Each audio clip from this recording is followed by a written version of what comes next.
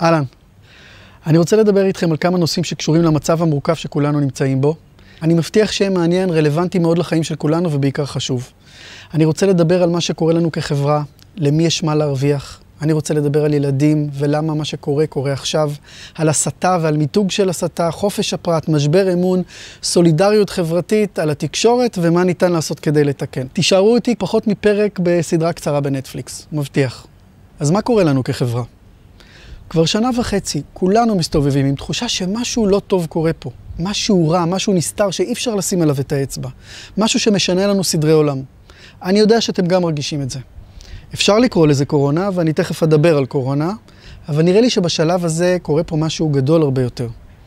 ולא, אני לא מדבר על קונספירציות ואנשי לטאה ועולם שטוח, וגם לא צ'יפים ואנטנות וזנב שצומח, וגם לא על אנשי רפואה בכל העולם שזוממים מזימות.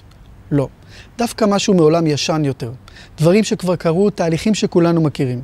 קודם כל, החברה בישראל הצליחה להגיע לשפל חדש של קרע. אנשים קוראים אחד לשני טרוריסטים, מחבלים, מרססים, מפיצי מחלות. חברים, שכנים ובני משפחה הופכים לאויבים בבת אחת. ועל מה? על זה שמישהו אמר לנו שאנחנו מסוכנים אחד לשני. ולא שלא היינו חברה מפוצלת קודם, ואולי דווקא בגלל זה נבחרנו להוביל את הניסוי החברתי הזה. הרשתות החברתיות הן שדה קרב, והפעם יותר מתמיד, הפחדים וההפחדות של התקשורת ואנשים בעמדות כוח גורמים פה לפיצול ולשיסוי שאני לא זוכר כמותו. המהלך הזה גם תפס תאוצה בחודשיים האחרונים, ולא סתם. אז למי יש מה להרוויח ממדינה במצב של כאוס חברתי? זאת שאלה שחייבת להישאל, מעבר לפייזר שמרוויחה מיליארדים מהבריאות שלנו. מצב החירום אמנם קיים בעוד מדינות, אבל יותר כמו משהו שחיים לצידו בזהירות. אין אלימות, אין הסתה ברוב המדינות. אנשים שלא מתחסנים הם לא האויב. חיים לצד הנגיף בזהירות. ישראל היא לא רק שחקן מרכזי באירוע העולמי הזה, אלא גם קורים פה דברים שלא קורים באף מדינה כמעט. לא בצייתנות, לא ברמת השנאה וההסתה, ולא בניצול של המצב בכדי לצבור כוח שלטוני. תוך שנה וחצי מעבירים את חוק הסמכויות, מנצלים את זה כדי לרשת את הרחובות במצלמות, לעקוב אחרי טלפונים סלולריים. למשטרה ניתנות סמכויות מיוחדות, אלימות משטרתית. רגולציה נלקחת מידיים של שומרי הסף. חוק הסמכויות מוארך שוב ושוב בלי קשר למצב הקורונה. בתי המשפט מתיישרים אך ורק לפי מדיניות המדינה, והמדינה מקבלת לידיה עוד ועוד שליטה על חופש הפרט, חופש המידע וחופש התנועה שלנו. אנחנו, אתם, לא חשובים, רק המדינה. אבל מה זאת המדינה אם לא אנחנו? אלו לא סתם מילים, תשאלו כל מי שגדל במקום כמו צ'ילה או רומניה או ברית המועצות לשעבר. גם שם אנשים ילכו מפוחדים ברחוב, שונאים אחד את השני, מלשינים אחד על השני, חושבים שהם אשמים במצב. וכל זה בגלל וירוס שבתכלס וללא עוררין, לרוב האוכלוסייה הסטטיסטית לא מהווה סכנת חיים. זה לא מסתדר, נכון? הפרופורציות. מילה לגבי ילדים. חברה ששולחת ילדים להתחסן למחלה שאינה מסוכנת להם כמעט, היא חברה חולה. חברה שמשתמשת בילדים כמגן אנושי לחרדות של מבוגריה, היא חברה חולה. חברה שמפתה ילדים עם מסיבות וצ'ופרים וגלידות וממתקים לבוא להתחסן לחיסון שאין יודעים השפעתו עליהם ועל גדילתם, בנגיף שכמעט ואינו תוקף אותם, היא חברה מקולקלת וחולה. ולא, אין אישור לחסן ילדים מתחת לגיל מסוים, ורוב המדינות גם לא עושות זאת. ישראל כן. מעבר לכך, בישראל יש עלייה משמעותית בדיווחים על ילדים בדיכאון. ילדים שלא בסיכון וישבו ויושבים בבית. ישראל בראש רשימת ההזנחה. דיווחים בעלייה באלימות של ילדים אחד כלפי השני. וילדים שעכשיו חלקם סובלים מנידוי חברתי וחרמות. אז למה זה קורה עכשיו? כי עכשיו התגלה שהחיסון של פייזר לא כזה יעיל כמו שאמרו. זוכרים את שתי זריקות וחוזרים לחיים? מסתבר שאולי מגביל תחלואה קשה, במיוחד אצל אנשים שנמצאים בסיכון, אבל לא עוצר תפוצה. וכשהם מבינים, כשלא חוזרים לחיים, הם היו צריכים למצוא שעיר לעזאזל, ש"ג. אנשים באמת מאמינים שאם רק יצייתו להוראה הבאה, יסכימו לעוד גזרה אחת ואחרונה, יחזרו לעולם הקודם, לשגרה, לחיים שלהם, למסעדות והופעות. אני מבין את הצורך בחיים נורמליים, באמת, אבל אתם בוודאי מבינים שזה כבר לא יקרה. וכל פעם שאנחנו נטעם מקצת שגרה, יהיה עוד סיבוב של הדבר הזה. תואמים מקצת נורמליות והופ, חזרה למצב חרדה לאומי, ובחסות משבר לאומי מכניסים אזרחים לפאניקה וחרדות לא פרופורציונליות ביחס למה שקורה במציאות. מספרים לנו שמינימום קץ האנושות הגיע. באמת? קץ האנושות? אז רק כדי לסבר את אוזניכם. עד עכשיו מתו בעולם כולו באופן רשמי קצת יותר מארבעה מיליון בני אדם מקורונה. זה כולל למשל חולי סרטן שמתו עם קורונה, כן? רוב המתים בארצות הברית, על פי המרכז לבקרת מחלות, הם חולים במחלה כרונית. הרבה מהם גם 2 ו-3 במקביל. הגיל הממוצע הוא מעל 80. עכשיו, מספר המתים הזה הוא עצום, אבל חכו רגע, בעולם מתים אנשים. בשנה ממוצעת מתים בעולם 18 מיליון איש ממחלות קרדיווסקולריות, 8 מיליון מסרטן, 8 מיליון מהתקפי לב, 4 מיליון ממחלות נשימה וגם מחלות מדבקות, כן. כמה מהם היו נחסכים אם היו סוגרים תאגידים מזהמי אוויר או חברות טבק? זה כבר נושא אחר. מספרי הקורונה מצדיקים צעדים כל כך קיצוניים ששמים אותנו פסע מדיקטטורה? וזה בלי קשר ללחיות בזהירות ולעשות מה שצריך כדי לדאוג אחד לשני. וכמובן להגן על אלו שבסיכון. אבל לרמוס ככה זכויות אדם? שמתם לב גם ששוב ושוב מעבירים את הכדור אלינו, מאשימים אותנו בניהול הכושל. בואו נדבר על הסתה ומיתוג של הסתה. אז מה קורה פה בעצם? עושים הסחת דעת, הטריק הישן ביותר בספר. לוקחים קבוצה באוכלוסייה שאין ולא היה לה דבר עם יצירת המצב הנוכחי יותר מאחרים, מאשימים אותה ורק אותה במצב, נותנים מידע כוזב ושקרי, חצאי אמיתות במקרה הטוב, מפמפמים את זה מבוקר עד ערב. פוליטיקאים נואמים, כותרות בעיתונים, פאנלים בחדשות, לוגויים מסתובבים, סכנה, סכנה, סכנה. עושים בליץ, הפצצת שטיח. באיזו עוד מדינה דמוקרטית ראש הממשלה עומד מעל דוכן וקורא ללמעלה ממיליון, בעצם הרבה יותר, אזרחיות ואזרחים, מרססים בתתי מקלע. רומז שהם מחבלים, מסוכנים, טרוריסטים, וזה עובר כדבר נורמלי. באיזו עוד מדינה דמוקרטית ציבור שלם מואשם בחדשות, בפריים טיים במצבה של המדינה, דמו מותר.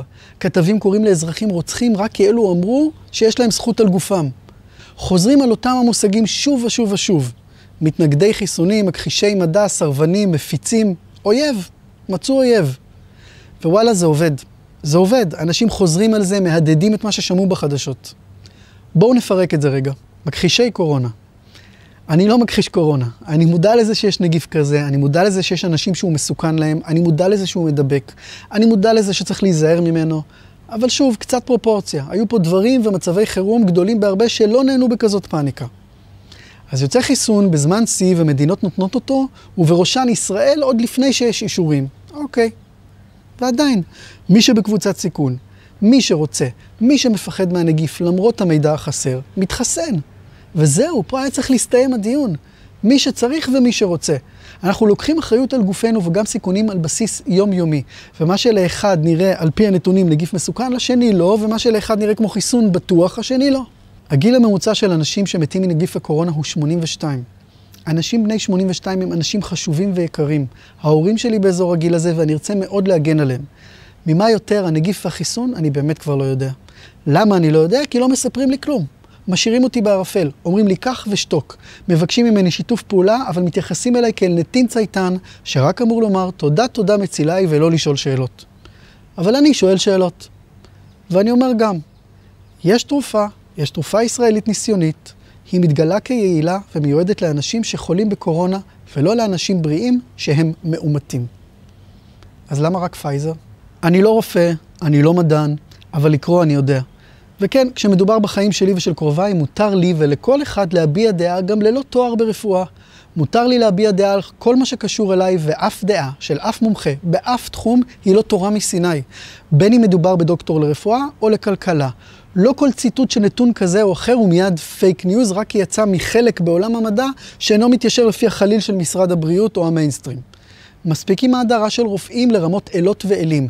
יש שטובים, הרוב טובים ומצוינים, יש פחות. יש ביניהם גם שטועים ויש גם מושחתים, כן. רופאים ומדענים הם בני אדם. ומי שאומר שמדע תמיד צודק, לא פתח ספר היסטוריה או חיפש בגוגל, רופאים גם המליצו על סיגריות, ותעשיית הטבק עוד מקבלת היום אישורים מה-FDA. אבל אין כסף בלסגור תאגידים מסוכנים, יש בזה רק בריאות. ואנשים בריאים יותר יצטרכו פחות תרופות. פחות תרופות, פחות כסף. אני בשנות ה-40 לחיי, ועל פי משרד הבריאות נמצא, וזה עוד לפני תחילת החיסונים, על פי משרד הבריאות, ב-99.924 סיכויי החלמה מקורונה. 99.924, עדיין סיכוי? עדיין. שנדבר על האחוזים שלי לשרוד נסיעה בכביש? על פניו אתם יכולים לומר, עדיין סיכוי, קח חיסון ותגיד תודה, לא? קח מה? מה זה הדבר הזה שאני לוקח, ומי ייתן לי ערבות שזה בטוח? הדבר הזה שקיים קצת יותר משנה? אז אני מוכן לקחת את הסיכון מול סיכוי, כן, ואחד אחר באותו המצב כמוני בדיוק, לא, וירצה להתחסן כי הוא פוחד מהנגיף, וזה בסדר. פחד הרי הוא בעצם מה שמניע אותנו לכאן או לכאן. שוב, פה היה צריך להסתיים הדיון. זוהי בחירה חופשית, זוהי המהות של זכותנו על גופנו. זכות שהייתה אמורה להיות מקודשת, והפכה להיות, מסתבר, נחלת הכלל. אז לא, אני לא מכחיש קורונה, אני כן מכחיש את מה שעושים ממנו ושמינימום קץ האנושות לפנינו. המספרים מספרים סיפור אחר לחלוטין. היו פה מודלים שצפו עשרות אלפי נפטרים בארץ וגם מודלים בחו"ל שנכשלו לחלוטין, וגם הם במצב יותר טוב מישראל. מה עם המודלים של הנפגעים כתוצאה מהצעדים והפאניקה של המדינה? איפה המודלים של הקשישים שמתו בגפם בגלל הסגרים, אנשים שהתאבדו כתוצאה מאובדן יכולת להתפרנס, אלימות משפחתית, אלה שאיבדו את מפעל חייהם, אלה שנפגעו פיזית ונפשית כתוצאה מהצעדים של המדינה? אפילו האו"ם הזהיר שצעדים קיצוניים מדי יכולים לגבות יותר קורבנות מאלו של הנגיף במצטבר. הקורבנות האלה לא נחשבים? הלאה, מתנגדי חיסונים. עכשיו, מה גאוני בביטוי הזה? קודם כל הוא ברבים, מתנגדי, כלומר, קבוצה שלמה של מתנגדים, וגם החיסונים ברבים. וואלה, מוזר, עד היום לא התנגדתי לשום דבר, אפילו פה ושם התחסנתי בדברים אחרים. יש לי ילד בן ארבע שקיבל את החיסונים שהומלצו. למה? כי הם קיימים מספיק שנים, כי יש מספיק נתונים, ולא, לא נתתי לו את זה אוטומטית. התלבטתי, קראתי, התייעצתי, צפיתי והחלטתי, וזהו, בזה נגמר העניין. לא הופעל עליי לחץ חברתי וכלכלי, לא הודרתי מהאוכלוסייה, אם לא, אז מתנגדי חיסונים, לא, צר לי לאכזב להם את ה sound bite. בוחר שלא להתחסן כרגע בחיסון הנוכחי, בהחלט כן, אבל זה פחות עובד בתור כותרת. מה עוד היה לנו? מכחישי מדע. אוקיי, אני חושב שמדע הוא דבר נפלא, כולל מדע שקשור בחיסונים.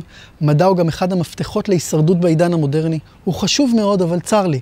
מדע לא מצטמצם לכדי נגיף אחד, שלוש חברות תרופות וחיסון בטכנולוגיה אחת חדשה יחסית. אין אף לא רופא או מדען אחד בעולם הזה שיכול לומר לכם מה מנת חיסון כל חצי שנה תעשה לגוף בעוד שנתיים, חמש, עשר או עשרים שנה.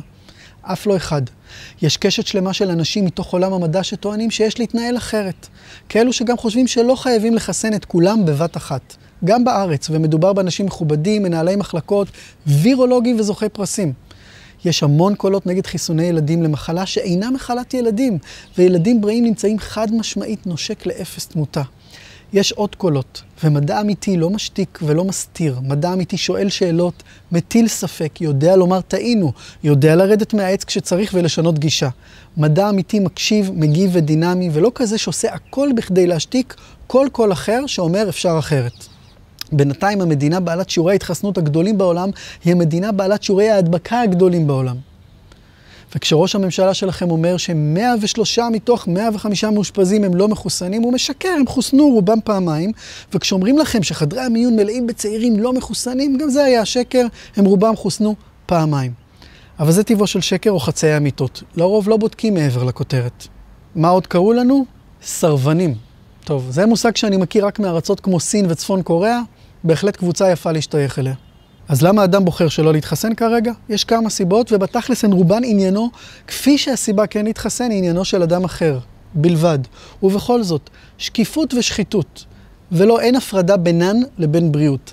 מדינה שרוצה ממני שיתוף פעולה תתנהל בשקיפות. שיפרסמו את החוזה עם פייזר, שיורידו את החיסיון מהדיונים.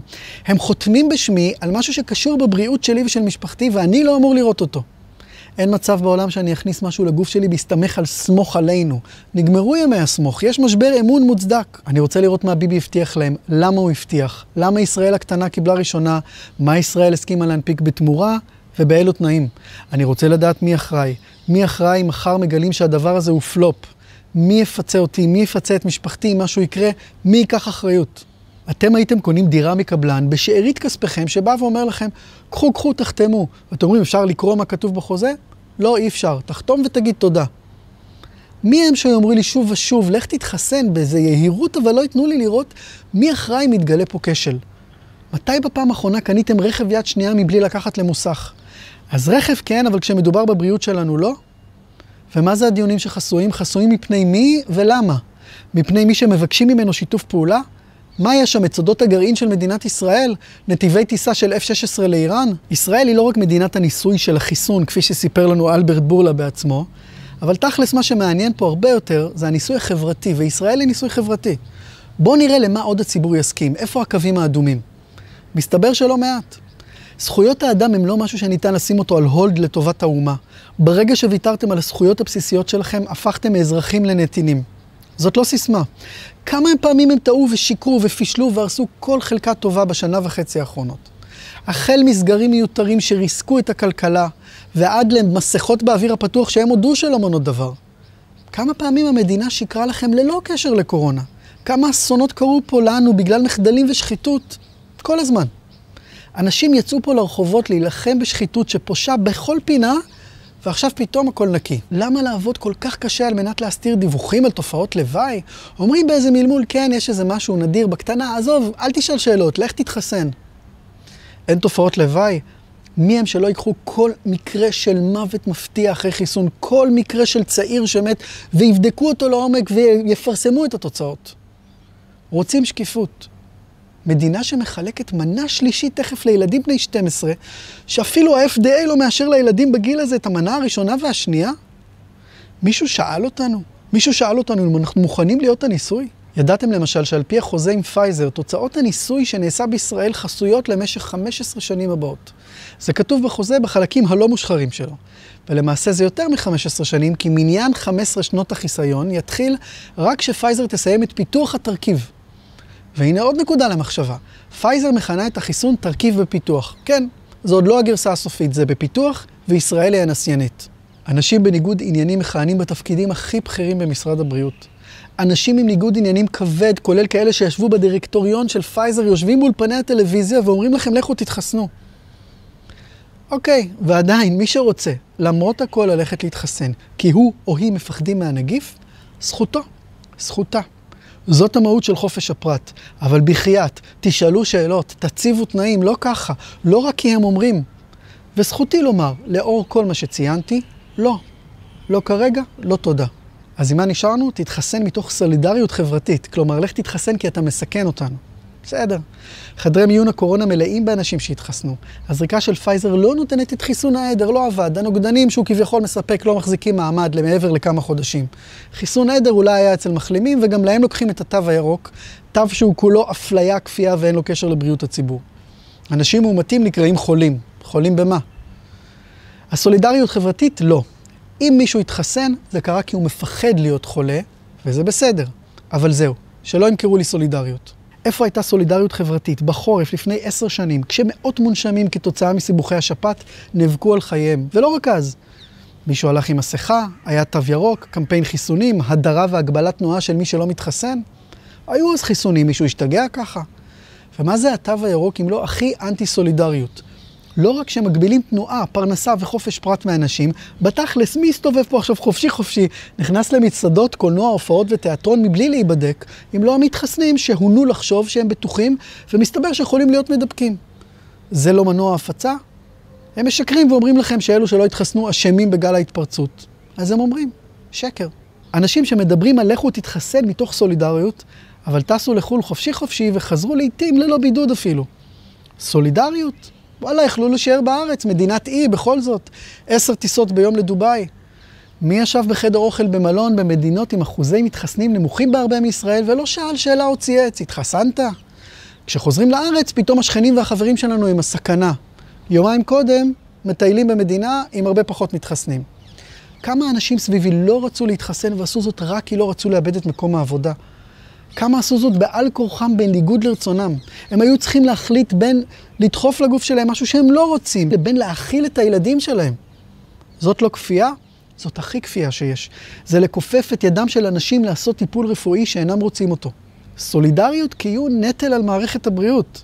אנשים מדברים על לקחת ללא מתחסנים את ביטוח הבריאות שיממנו בעצמם את האשפוז. באמת? מתי אמרו זאת לחבר שלהם שמעשן קופסה ליום? 8,000 מתים בכל שנה, רק בישראל, אלפי מיטות, הרבה יותר מקורונה. מישהו מדבר על מעשנים? איפה הדרישה לשלול ביטוח בריאות מאנשים שנהגו בפזיזות, עברו על החוק והיום מאושפזים? רשתות הטלוויזיה וגם העיתונים משדרים אך ורק מסר אחד, הפחדה והסתה. מלאים באנשים בעלי ניגוד עניינים. אין יותר הון שלטון מזה. תקציבי עתק, מאות מיליונים שהיו יכולים ללכת ולבנות איתם אגפים בבתי חולים, הולכים לקמפיינים, לתקשורת לעידוד חיסון, ועוד במיוחד לילדים. התקשורת במדינת ישראל מתה, היא לא קיימת. מדובר במשרדי פרסום שמוכרים זמן אוויר. הם יאמרו הכל ויעשו הכל כדי להביא עוד צופים ולמכור עוד שטח פרסום. ומה מוכר יותר מהכל? דם. הם לא משדרים לכם חדשות, הם משדרים את מה שביקשו מהם לשדר. בעלי הערוצים הם טייקונים שמחוברים אחד לשני בחבל הטבור, כולל חברות שמייצרות חיסונים, והם מסבנים אחד לשני את הגב. בערוצי החדשות בישראל אין יותר עיתונאים, אין עיתונות, אין אמת ובטח שאין איזון.